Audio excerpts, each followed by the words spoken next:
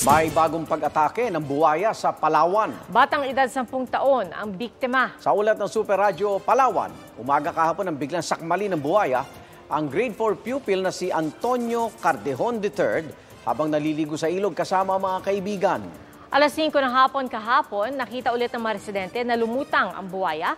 Nasakmal pa rin noon ang bata bago tuluyang naglaho. Tulong-tulong pa rin ang mga residente at motoridad sa paghahanap sa bata.